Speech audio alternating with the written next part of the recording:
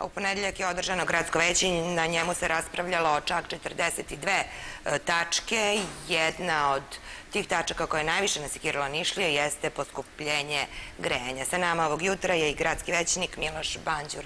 Gospodine Banđur, dobro jutro. Dobrodošli. Ponovo je poskupilo grejanje. I to 20,3 od 100. Doduše samo variabilni deo, ali jeste poskupljenje koje će Nišlije osetiti. Pa jeste, grejanje je poskupilo i građani su to osetili u februarskom računu. Znači, februarski račun već sadrži to poskupljenje. Zato što je cena gasa od 1. januara 2015. veća za 25%, tačnije 24,3%. Moralo je da dođe do poskupljenja takozvane jedinične cene za toplotnu energiju, odnosno variabilnog dela matematika je takva da je cena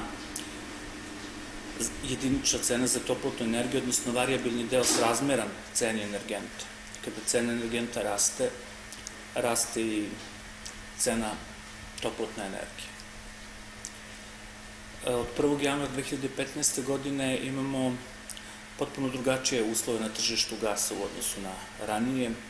To je nešto obaveza Srbije prema Evropskoj energijskoj zajednici, to je nešto što smo potpisali 2005. godine i što je stupilo na snagu u januara ove godine, znači cena gasa je slobodna, Agencija za energetiku tu cenu više ne reguliše, ne daje odobrenje na njeno povećanje, jednostavno posmatra se cena gasa na svetskom tržištu i kurs dolara.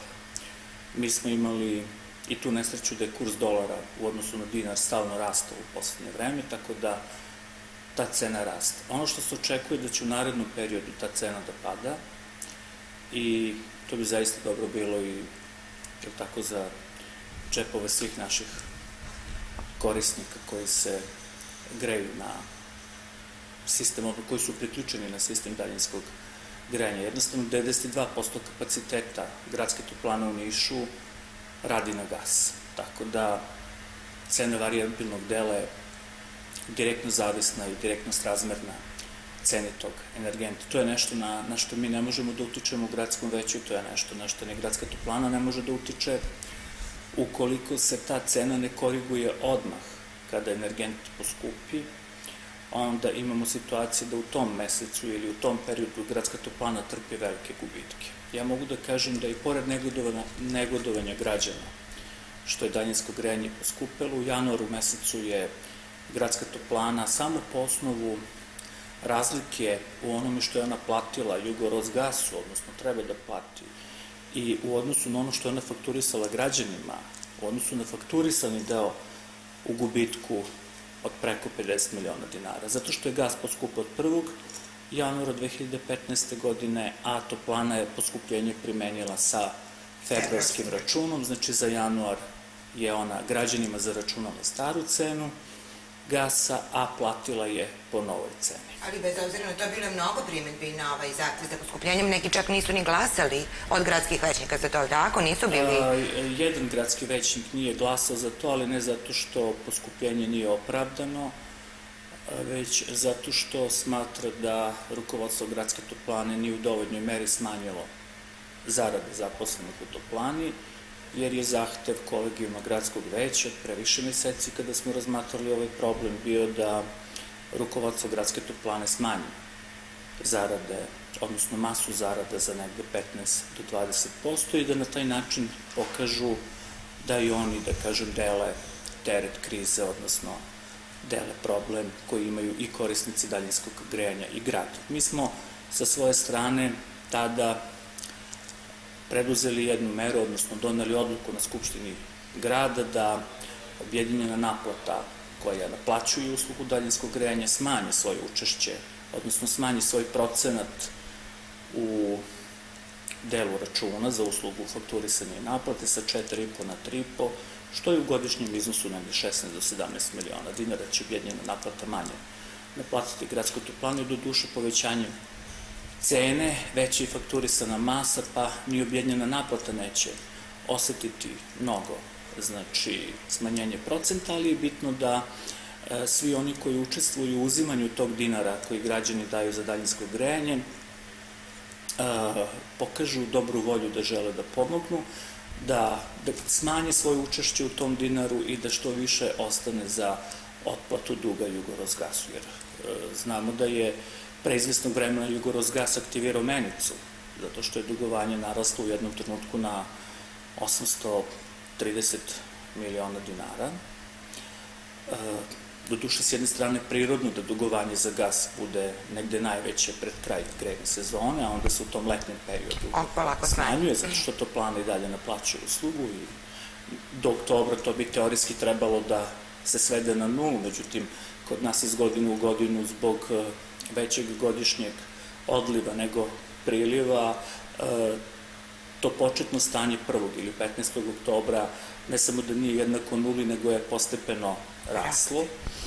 Tako da ovaj, mi imamo i dobru vest, juče je direktor gradske toplane potpisao u Beogradu i protokol kojim se regulišu međusobna e, pitanja, obaveze i e, Jugorozgas je povukao menicu. Tako da, eto, to je jedna dobra vest. To znači da je odblokiran račun toplane? Tako je, račun gradske toplane je odblokiran. E, naš snabdevač je i ovoga puta imao razumevanje za probleme u kojima se nalazi toplana i grad Niš i, kažem, potpisan je protokol kojim se utvrđuje dinamika regulisanja tih obaveza prema snabdevaču. Grad Niš će sa svoje strane da najverovatnije potpiše protokol sa gradskom planom o regulisanju svojih obaveza prema toplani, pošto je poznato da je grad zbog stanja budžeta kako jeste jedan od većih dužnika za uslugu daljinskog grejanja. Gospodine Bančar, pre jedno mesec dana od prilike kada su građanima stizali februarski računi, kada je nezadovoljstvo bilo onako baš veliko, pričalo se da će gradsko veće dati nalog toplani da račune smanji.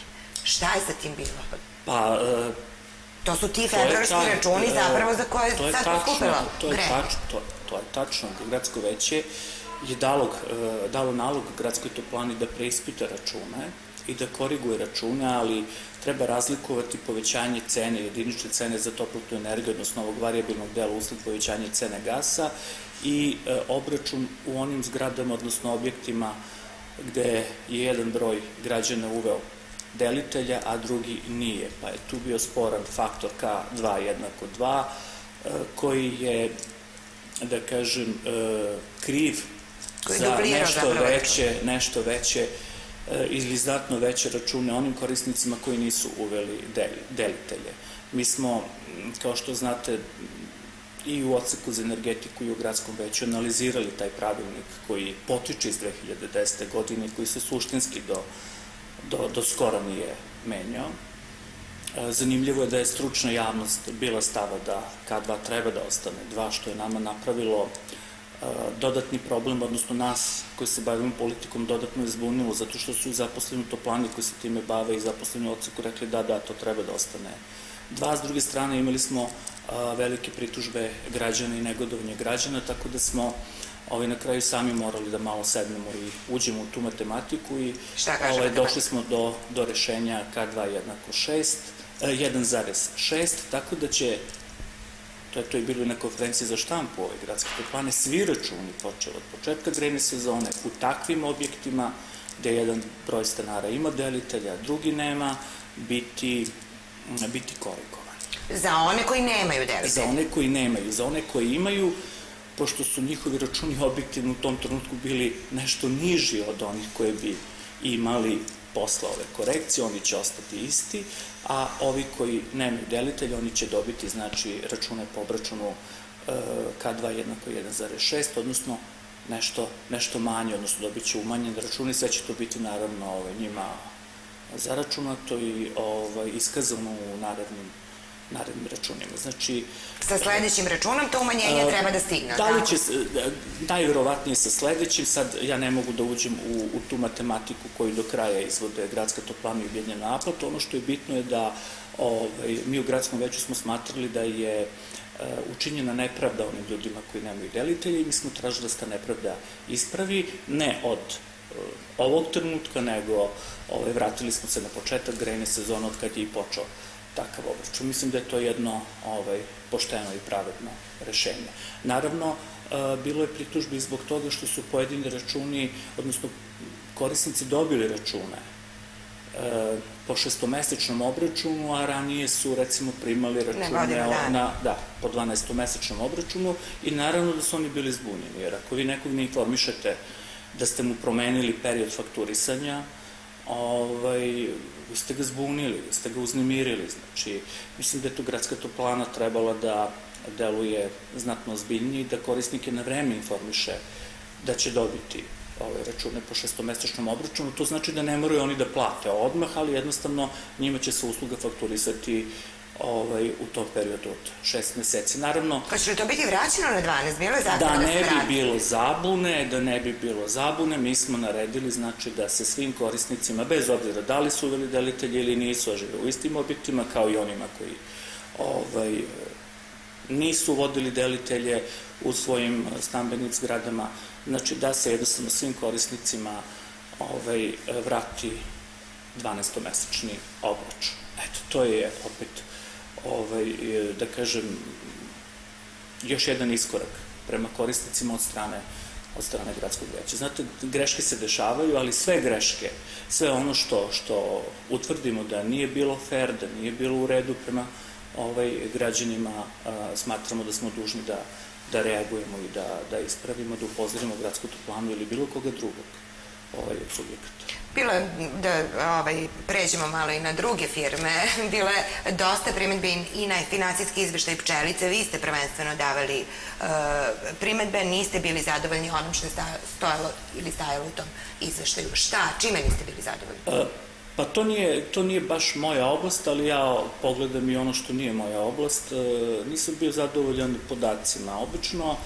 ovaj, odnosno u jednom dobrom delu slučaja da podaci iz ustanova i preduzeća su vrlo zamagljeni, vrlo, da kažem, zamazani i vi kada pročitate izveštaj vi nemate jasnu sliku o tome šta se dešava u nekoj ustanovi ili nekom preduzeću. Naravno da je najbolje podatke uporedno prikazivati. Podatke za ovu godinu porediti sa podacima za prethodnu ili prethodne godine kako bi se ovaj, ustanovila neka tendencija.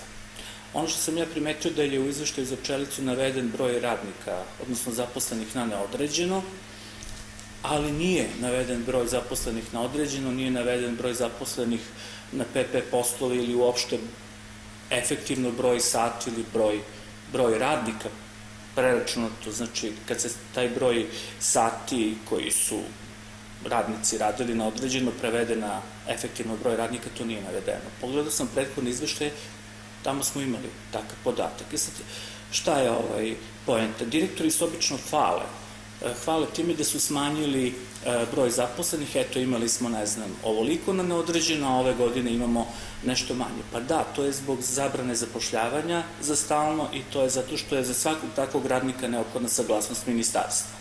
I oni to sad koriste kao, eto, da se pohvale da su smenili, smanjili broj e, zaposlenih. Ali to tako u praksi nije, jel? Nije, zato što oni zapošljavaju na određeno, zapošljavaju na PP i na razne druge načine i onda im pogledamo masu zarade i vidimo da masa zarada raste.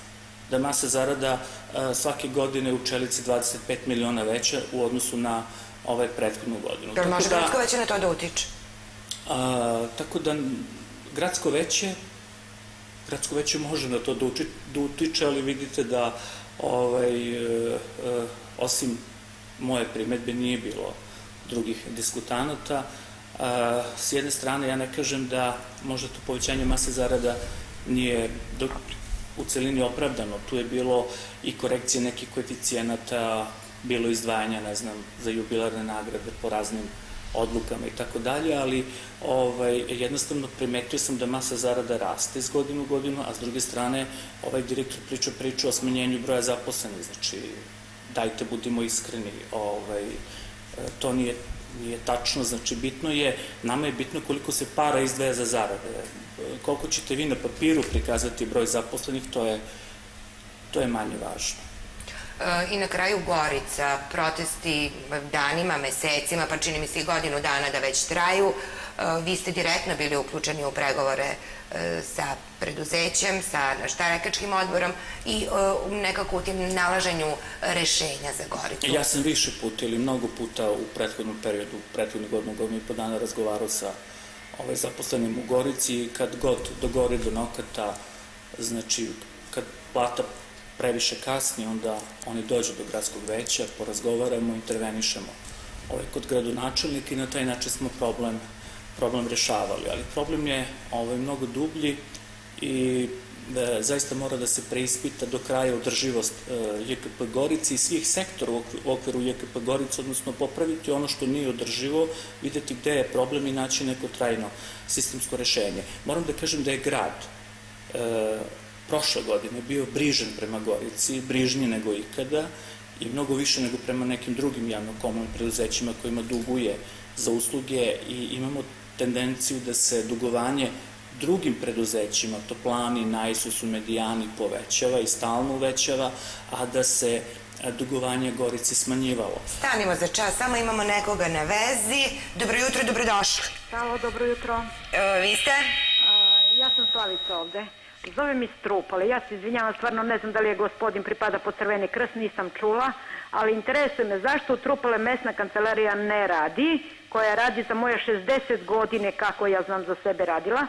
Sada imamo radnicu koja radi u Popovac. Ako nam bilo koji papir treba, mi moramo da platimo ako nemamo kola taksi, da je dovezi, da je vrati kući, da bi nam izdala taj papir. Zašto se to ne osnova? To je stvarno bruka sramota za 1200 doma da nam mesna kancelarija u Trupale ne radi. Hvala vam puno Hvala. na javljanju. Evo, e, to, je to nije pitanje, pitanje za, naše gosta. Za opštini Crveni krst i za gradsku upravu za građanske stanje i opšte poslove. Ja zaista ne znam zašto mesna kancelarija u Trupalu ne Ne radi. Evo ja e, umesto gospodina Većnika, e, gospodina Miloša Banđora, mi ćemo postaviti to pitanje gradskoj opštini Crveni krst, pa ćemo u nekoj od narednih emisija da vam kažemo, a mi nastavljamo. Teo sam da vam dam ove uporadne mm -hmm. podatke. Recimo, na dan 31. decembra 2012. dugovanje grada, ukupno grada prema Gorici je bilo 170 miliona. Sledeće godine 36 miliona manje, 134.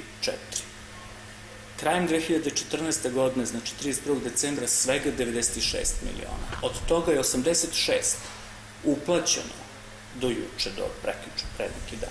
I ostalo je samo desetak desetak miliona za prethodnu godinu, a zašto nisu isplaćeni januar i februar? Zato što ovaj, programi su došli na veće tek pre tri dana, e, posle usvajanja programa ide potpisivanje ugovora, e, posle potpisivanja ugovora te faktura, odnosno ono što su oni uradili situacije za januar i februar idu upravo za finansiju, zahtev za plaćanje i znači teorijski nije bilo moguće platiti januar i februar, ali svejedno, januar i februar su ukupno 35 miliona prema Gorici. I ovih, ajde, neka bude 15, a ne 10, to je 50. A njima, za dve i po zarade, koliko im preduzeće duguje, radnicima treba negde oko 75 do 80 ovaj, miliona dinara. Znači, čak i da grad isplati sve, oni se nalaze u problemu. Znači, problem treba ozbiljnije rešavati. Jedan od razloga zašto su oni upali u ovaj problem i meni je žao što je došlo do mrcarenja radnika i zaposlenih je što je direktor pre, kad je došao na tu poziciju, odlučio da ne odnavlja kredite koje je su ranije poslovodstva uzimala i to je na neki način bilo u stvari prekid ili prekidanje dovoda kiselnika bolesniku. Sa izgovorom neka se bori da ozdravi neko ojača organizam. Ne, bolesti može imunitet. i da da. Samo moment imamo još nekoga na vezi. Izvolite, dobro jutro, ko je sa nama? Dobro jutro, Dragan, ovde na telefonu. Ovo, mene jedno nešto samo interesuje. Kada će da bude isplaćeni e, ovo, radnici, odnosno to su radnici, da kažemo, e, koji su na radnom angažovanju onih 100 sati, pošto se po godinu dana kasni, a s druge strane novac ima za doček nove godine koji je iz nekih medija saznano da je nije poklon, nego je već primanje, poklon dat, koji su da, date neke lud, lude sume, a za te ljude koji su faktički nas socijala i koje rade samo da bi radili, da bi izvukli neki dinar, nema. I godinu dana se kasni. Hvala vam puno. Hvala i vama na javljanju. Potpuno razvojem gledalca, e, više puta sam na gradskom veću intervenisao kada je u pitanju isplata socijale i e, uvek sam prilikom usvajanja izveštaja o prethodnom tromisiću postavljao pitanje sa koliko procenata je Uprava za financije zadovoljila potrebe socijale. Znate kako, mislim da ta plaćanja trebaju da imaju prioritet u odnosu na neka druga. I za porodilje, i deči dodatak, i, i ovo angažovanje, znači na 100 sati jednostavno takve stvari trebaju da imaju prioritet. Ja ne mogu da dam odgovor, jer nisam ni restorni većnik, ni neko ko ima uvid u, u Evo, pitat ćemo našeg narednog gosta, da. Ali u svakom slučaju ja razumem i ja podržavam ovaj, stav gledalca da to mora da ima prednost u odnosu na nešto drugo. Hvala vam najlepše na gostovanju. Hvala i vam. Sa nama je bio uh, gradski većnik gospodin uh, Miloš Banđur. Uh, mi idemo na reklame pa se vraćamo u studiju.